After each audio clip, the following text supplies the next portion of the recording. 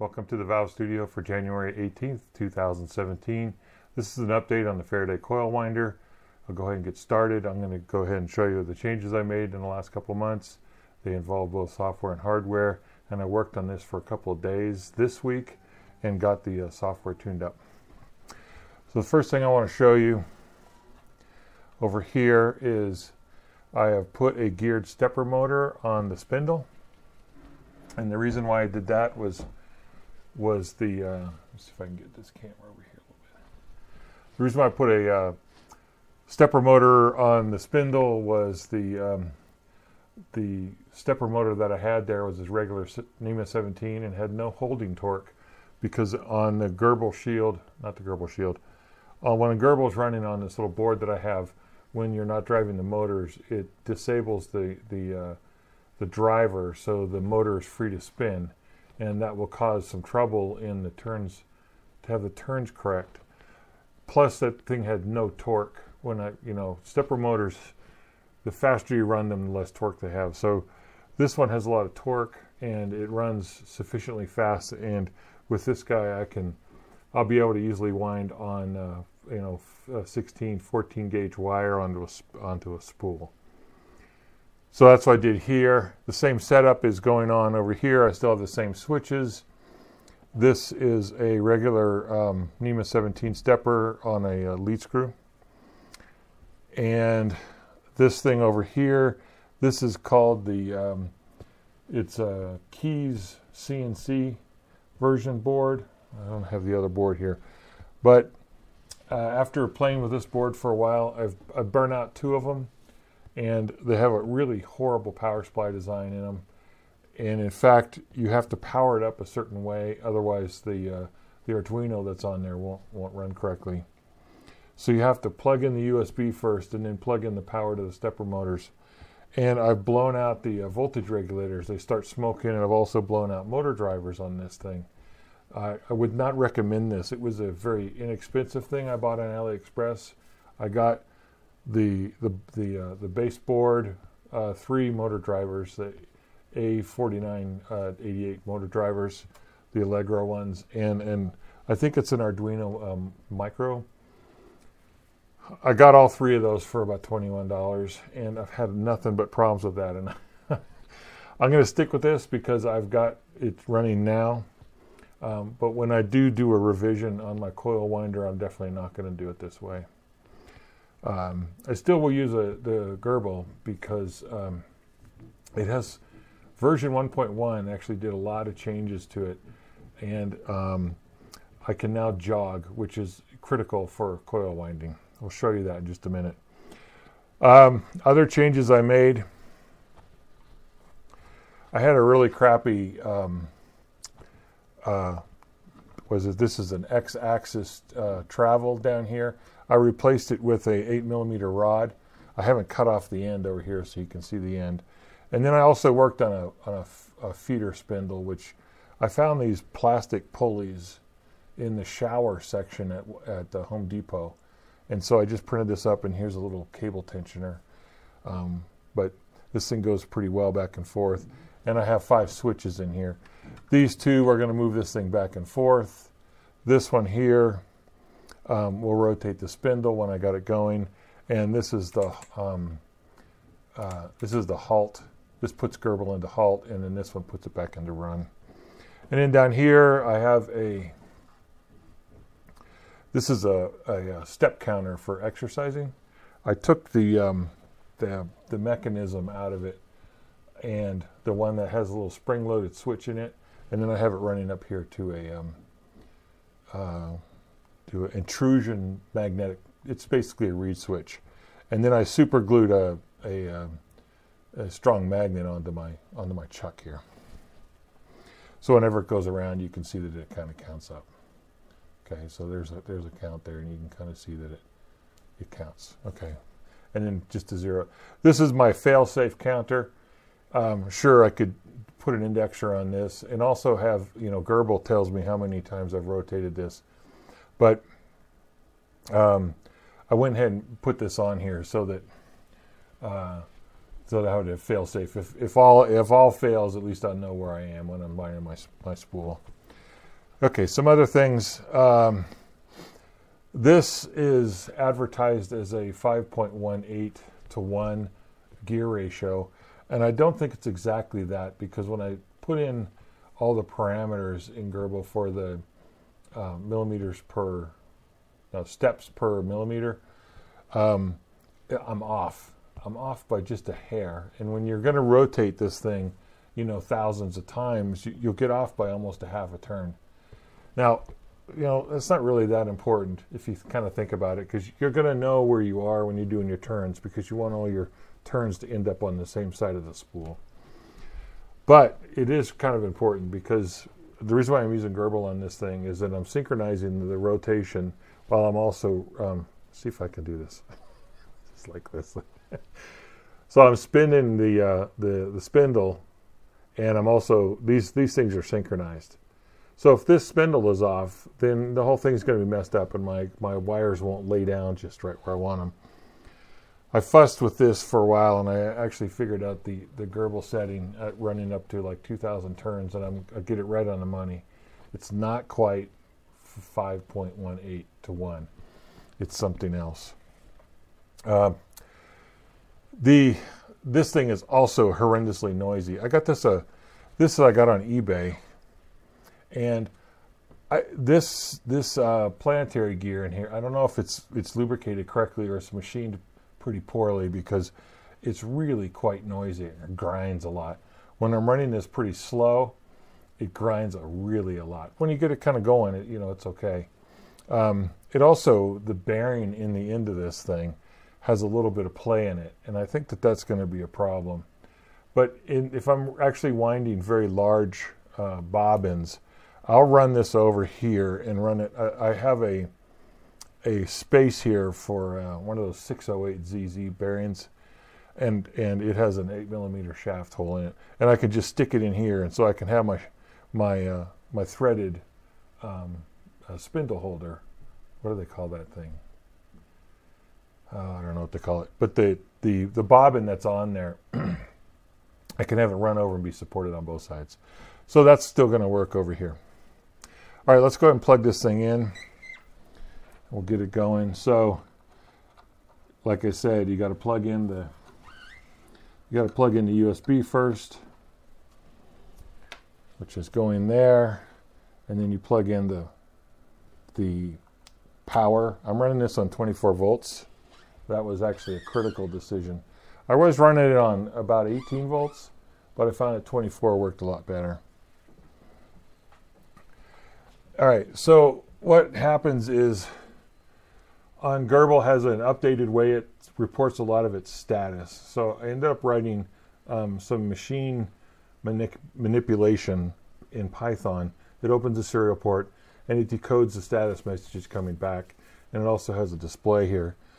So what I'll go ahead and do is I'll go ahead and run that here, just the machine itself. So what it does is it goes in, it opens up all the, it opens up everything and it's actually um, uh, doing status continually. About, uh, GRBL recommends to not pull the board more than uh, four times a second. I, I, think that's what I'm doing. And, and then I have, um, this is a, you know, this is a simple text interface that runs in Python. If you hit a question mark, it shows you the keys. Excuse me, this is the help menu here. Okay. So the first one I can do is a capital D for debug. Okay, so this is showing you down here the messages that are coming back. And you can see that it's this is what the stream of the messages are. So I'm going to go ahead and turn that off. And then if I want to jog it, I can jog it from the keyboard or I can jog it from the actual machine. So if we come over here, you can kind of see that, that this button pulls it that way. This one, you know, pushes it away. This one turns my, you can kind of hear how noisy that is. Okay, and also you see that the counter, was the counter counting up? Yeah, so the counter's counting up there. And if you look at, I'm going to go ahead and hit the halt button. You can see in the upper right here, in the upper left corner, I'm, in, I'm an idle. If I hit the halt button, it goes into hold, which is the GRBL mode, so it's not going to do anything now. And then when you're in hold, you can go ahead and hit the green button again, and it will on, on this side, and it will put it back in the into idle mode. That's how you can run it from from here. Um, the other thing that it, it actually does is when you're when you're spinning the spindle, it actually moves this axis. This is x-axis, and this is my uh, we just call this my turns axis. When you're running this button, the green button, and spinning your spindle, this is actually synchronized uh, movement to the spindle. So it uses GRBL jog, and it jogs them both at the right rate. Now, what is the right rate? The right rate is based on what in the Python software you set the wire gauge to. I'll go ahead and show you. It's a 22 gauge. So what you're going to see is when I run the, when I hit the green button, you'll see this one spinning just a little bit. Okay.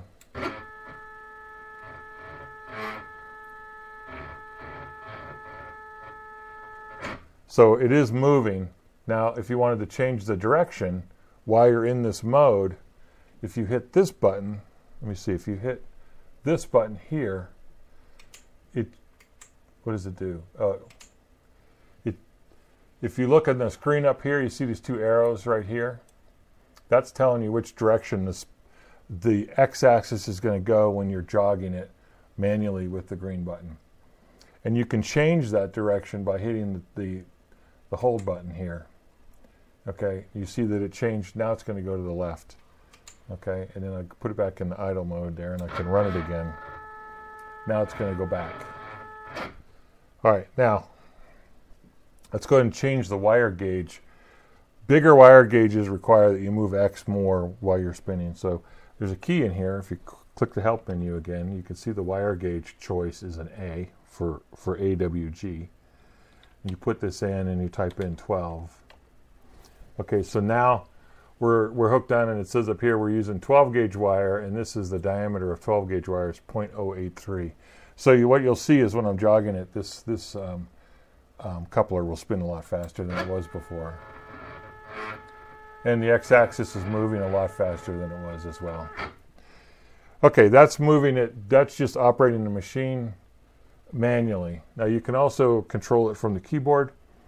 Um, and it tells you the keyboard commands here. So Small moves are lowercase i, j, k, and l, which is you know common for gameplay, and big moves, uh, faster moves are the capital letters.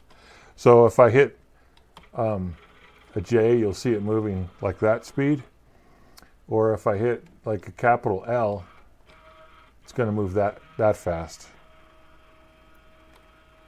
Okay. Oops, I hit too many. Ah, stop it. okay. All right, now let's move it. Let's go ahead and scroll, move it all the way back over here and kind of get it over towards the home position. All right, you can't really see, but we're kind of lined up. The spindle will be, you know, right here. So we got it all kind of lined up here. So if you want to zero out the machine, hit a Z over here, and you'll see that it put position and turns all back down to zero. Um, there's a couple more keys over here. The less than key moves X to zero. So let's say I move, let's say I, let's say I'm winding a coil or something and I'm over here and I want to go back to the zero position. I can move back. And you got to see there how fast it actually moves when it's, that's the, um, that's the, uh, the speed of, of, not, not homing speed, but that's the rapid, that's the rapid speed. It does go pretty fast. You can also in here just type in regular GRBL commands. I mean uh, G code. So if I do like, um, I'm in inch mode now. So let's go ahead and move over three inches. You can just type in X3 here. And so you get to see that it it moves over that that's the speed of the rapid. I can also, I'm in absolute mode now, which is a a G90. So if I want to go back, I mean absolute mode, so I got to go back to x equals zero. So you see that this is the, the, the real speed of this axis here, which is, which is pretty good. And I'll go ahead and rotate the, the y-axis is the spindle here. So I'm going to go ahead and rotate, it, rotate it one, to, one, one turn. And I have it geared and all the ratios set up so that y is actually reading out turns. Okay, I'm going to go ahead and manually turn it over to here.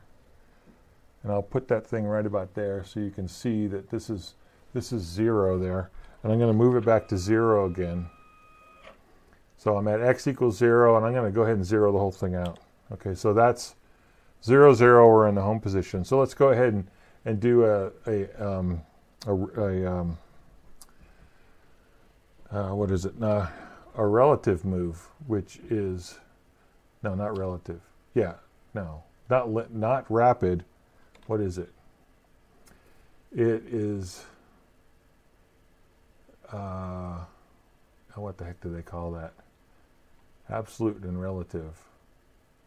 No, it's it's G, G's oh G one. Yeah, that yeah I'm not, yeah I'm just getting a little confused, blabbing on. All right, so I'm in G one, which means that it's going to uh, respond to the key the speed. So if I do an X, let's say an X four and a Y twenty, that's going to move X over four and it's going to rotate the spindle Y uh, 20 times.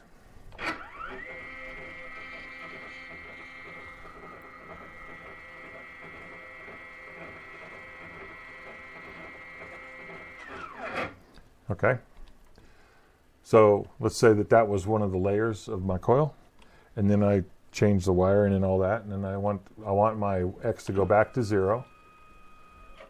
And let's just try that again, so we can see the count here actually goes up to 20. So that was X 4, Y 20. So here we go.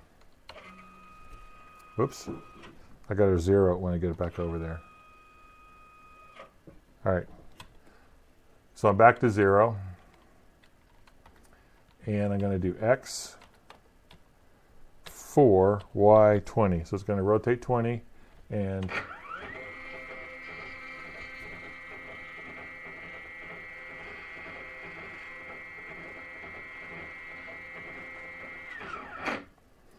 Okay, so you can see that that worked. So let's go ahead and zero it back. I want to go ahead and show you um, Let's go ahead and move back, but I'm going to show you another feature of GRBL 1.1. It, it allows you to do real-time feed overrides. And if you look at the, the help screen here, feed override is this override speed, and it's a plus and minus. So what I can do is I'm going to go ahead and tell it to go back to x0, which is going to move this axis back to 0, but I'm going to go in y another 20. Okay, so this is, oops, not 40. So this is another 20. Um, let's let's do that again. X zero. X zero. No, it's I'm in. Um,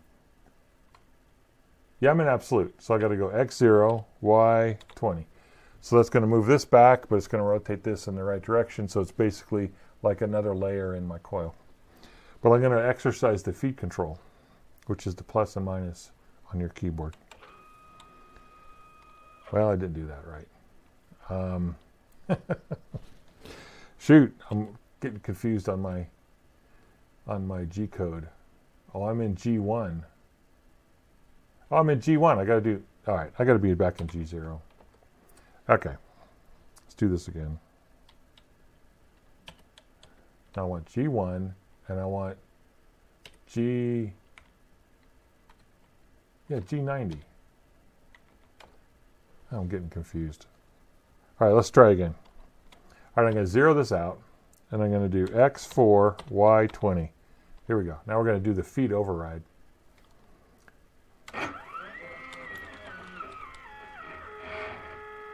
So I'm gonna I'm running it really slow, and then I can speed it back up again while it's running.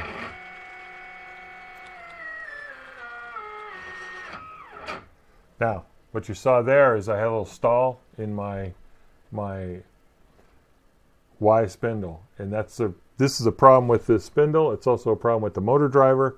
There's a lot of problems with this, so I can't run that spindle that fast when I'm running the x-axis that slow. It's it's kind of goofy. But let's let's do a, a, a, representative one. I'll show you how fast it runs when you're running some smaller gauge wire. Um, I will bring this back over here. And let's go ahead and say we got a winding that's like 100 turns. So I'm going to zero this out. And let's say I want to do, let's say my bobbin is, let's say my bobbin is like one inch wide. So we're going to rotate around a one inch wide bobbin. So we got X is one, and then we're going to do a Y of 100. So that's going to go 100 turns, but it's only going to move an inch in the in the X direction. I'm going to zero out my my meter here, and then I'm going to run it. Okay, and you can you can see that this is spinning because this thing is actually rotating. Now, all right, so I can change my speed over right here, and I can actually get that going pretty fast. So I wasn't able to spin it this fast when I'm running X really slow, and I think that's a problem with the way that the hardware uh, for on the Gerber board, the motor driver is not running that stepper very efficiently. These are just little nuances of this machine. That's about about as fast as I want to run the spindle. But you can see I counted up to 100 and I was running that spindle pretty fast. Um, so what else is in here? Uh, wire choice. Um, oh, you can also uh, wind. You can completely manually wind a, a, transformer on here by just using the green button, which does a synchronized move. Um, you can change the speed at which the synchronizing runs.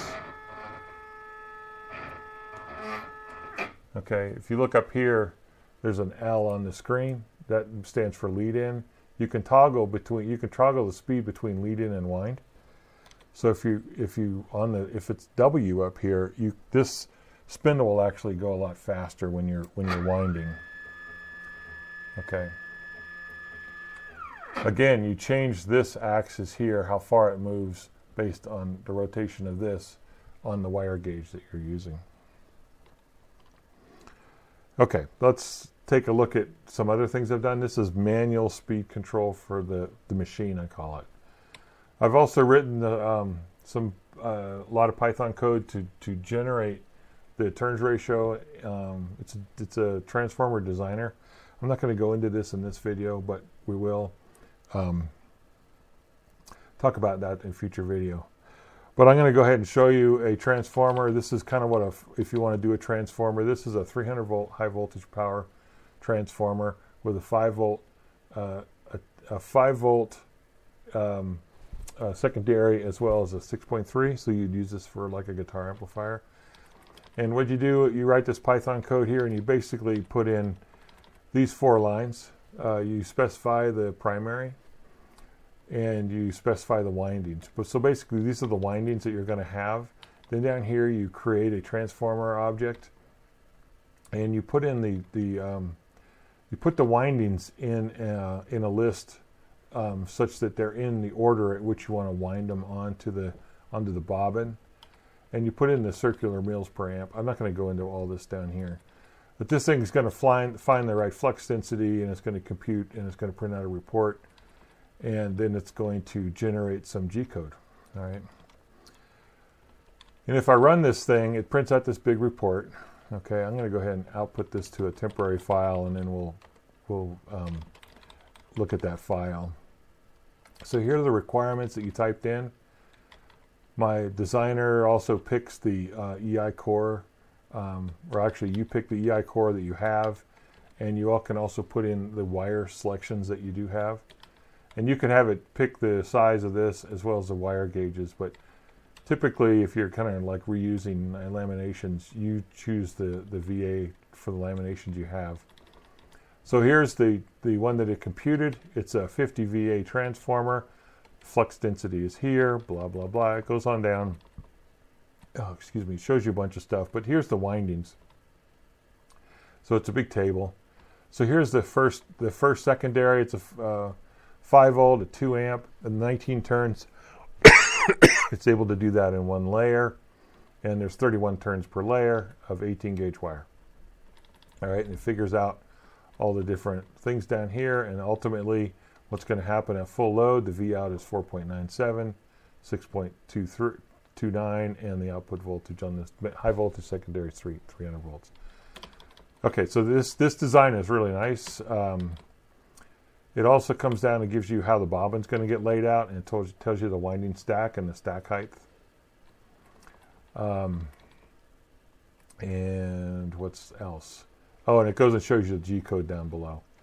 So what we can do is uh, actually import that G code. We can tell this Python code to run my machine and load those winding information into the machine. So I can go ahead and do that here. What it's doing is it's going to run my machine again. And if you hit a W here, it's going to show you that winding table. And if you want to actually wind one of these things, like let's say we wanted to wind the um, the primary, okay, which is winding number two. So uh, uh, you, you can just hit a capital W here and you tell it, I want to wind number two.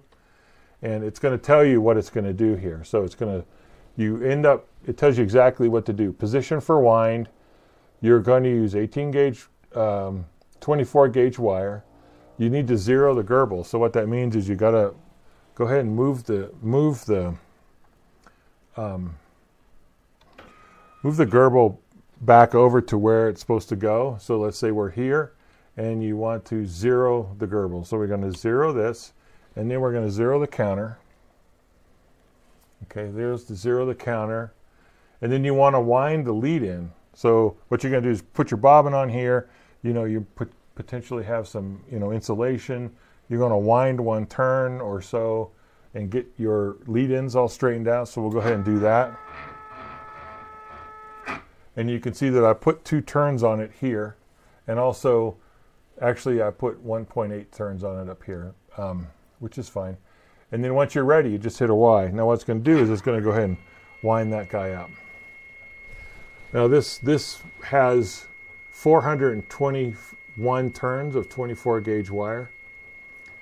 And it's going to basically step through, and this little star over here is telling you um, which um, which layer it's actually working on. Now this is running in G1 mode right now, so I can change the speed of this by toggling it up. So if I'm getting a little impatient, I can go ahead and spin my transformer up to full speed. And what it's going to do is put 421 turns on this um, this layer of our power transformer.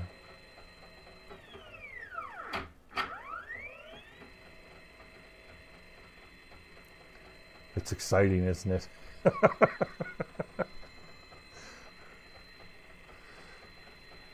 this little part of this code, it's this is like days of extra work on getting this thing tuned up so that it works cool. And I did spend a lot of time. And if you do have a problem, you can hit the you can hit the, the hold button, and you can see the GRBL went into hold zero, and then you can fix your problem, and then you can put it back on, and you can resume to where where you took off. And if you're winding a little too fast, you can slow it back down again while it's running. It's working really quite well. Well, I hope we end up on 421 turns. no, I, I, think I think we will. If we didn't, it's because we didn't start the uh, the bobbin in the right place, or my magnet was in the wrong spot, or something like that. But I think it's going to work. So you can kind of compare down here. This is 320, uh, you know, by 330 up here, and this turns turns up here is actually sitting at 346. So we're almost there. Also, it rinds the last layer in a complete layer, and you can change that in the code as well. So you can see that the X is actually moving faster on this last layer because it's going to wind a complete layer. All right. So GRBL reports back that we did 421 turns, and our counter down here reports 421 turns. Okay. That's it for now. All this code is in uh, my GitHub site. Uh, you can go over there. It's uh, GitHub at Holla 2040, H O L L A 2040. And I've got all this code checked in under the power transformer. You can also um, like I said, I'll be talking about the power transformer uh, designer in the future. Um, it, I, I, did work on that a lot. I probably put about a week's of time into getting that to work right, and that runs as a command line option, like you saw there, or you can run it actually in uh, Jupyter Notebook. That wraps it up for today. This has been a pretty long video. Um, thanks for watching, and uh, uh, I'll see you next time.